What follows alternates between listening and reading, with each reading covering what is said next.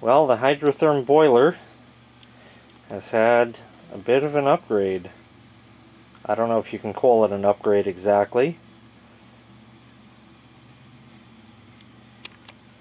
Here's the original pump for the main floor. That's all there, fine and good. And here's the new plump, pump, plump. Here's the new plump for the basement. This pump replaces the big old GE motor one with something that claims it's made in the USA. Um, in fact, I have the box, I just stuffed it up here. Designed and assembled in the USA with an American flag. But I can tell you something. Based on the way these parts are casted, like you see those ridges there? I bet that wasn't manufactured in the USA. But anyway, so put that new pump in. Now of course I had to drain the system. Here's some of the disgustingly dirty water from the old pump and stuff like that. The bottom bolts on the old pump were leaking. Uh, the, well, the wa water was leaking on the bottom bolts, I should say. These were the old top bolts. I replaced all of them. These are the old top ones, and just your standard wear and tear. There's really nothing wrong with them. I'll save them for another project. But uh, let me show you the, uh, the other bolts and what happened. Here's the one I could get out. And you'll notice there's a very thin section there of threads. And unscrewing this, you can also see the silvery. And this made the sound kind of like when you take lug nuts off of a car, that squeak or that creak sound. It made that sound the entire way coming off. And you don't have much room here because you can't work it with a regular ratchet. I mean, it'll fit. You, you use a ratchet, but you have to put a pipe on it because it's too tight. So uh, for that, that means you only have a swing of like a click or so in this area. So uh, it's pretty tight to work on. And this wire was also just barely long enough. They also don't include a new metal clamp like that for the cable but I happen to have one already. So anyway, the new pump is in, new gaskets in there as well. Oh, I'm sorry, I didn't show you the other bolt. That one just sheared the fuck off.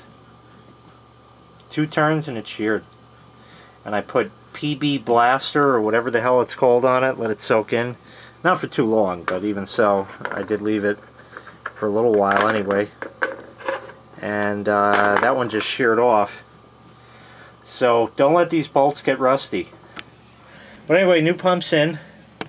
It supposedly moves a lot more water than the old pump did, which is good.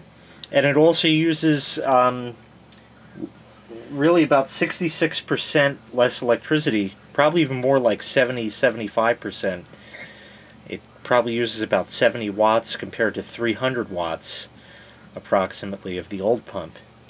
So that's kind of good, only for the fact that you know I'd rather use the old stuff. By the way, this pump is mounted sideways because these flanges are sideways as compared to that one there. So instead of messing with all of that and trying to turn them or anything that would disturb anything else, you just leave them alone and put it that way. And it'll stay that way until the boiler is replaced. And then, when that's done, I can put ball shut-off valves on the pipes and get everything done the right way rather than this shitty way that they originally did it.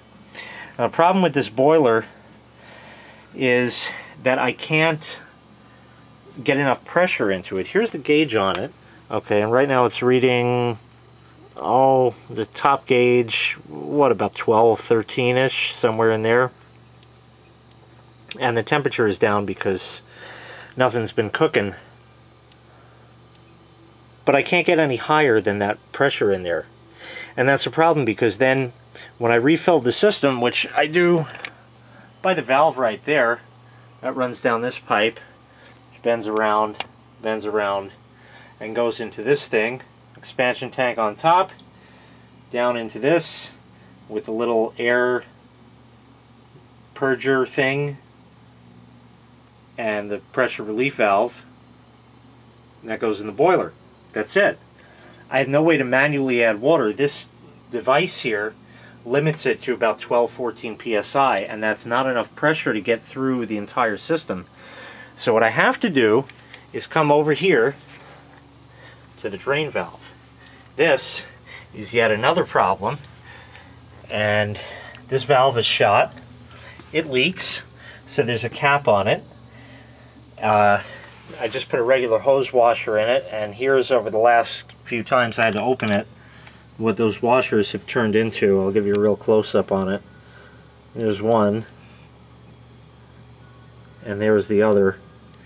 Just because of the heat involved. So I replaced the washer yet again. I did come up with this device because, again, the less you touch, the better. So trying to unscrew that is probably going to mess that up. I've never changed that gasket. It hasn't leaked, so good. Have changed this one and this one, which now is starting its new cracks. So that's great, and that there too. But trying to get that off is no good. But this can screw on there and give me a new connection, which is good. Problem is, like I said, I don't get enough pressure into this boiler through that thing. So in order to make this work, I have to take the cap off, and that means that the system starts pissing out onto the floor. I then hook up a washing machine hose, which is then hooked up to the garden hose. So it's female to female at both ends, so I can connect male to male together. And then open this valve, and then turn the garden hose on very slowly.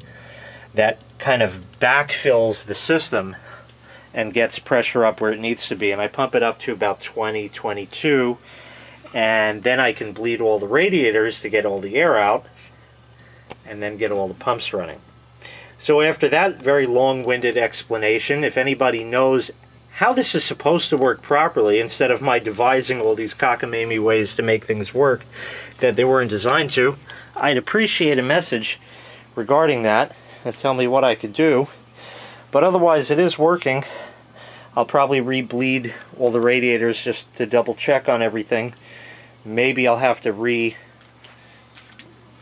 backfeed the system. Oh, and the other problem with that valve is the packing nut always comes loose. So once you open it, once you finally shut it and put the cap on, it starts pissing out from the packing nut, so you got to tighten that down.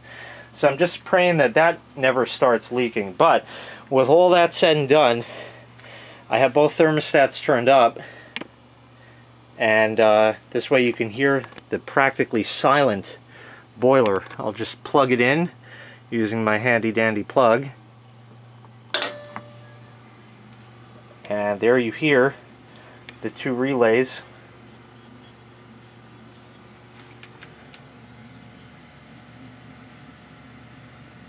There's that.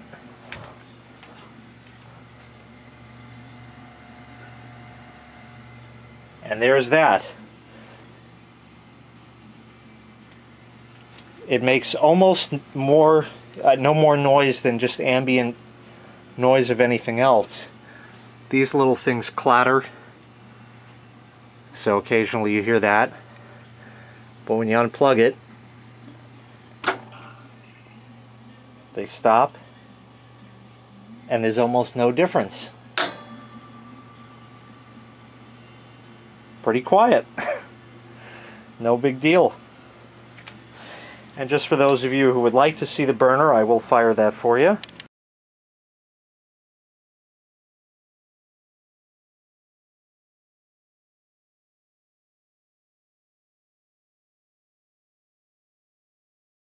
I've taken the flame guard out, safety third.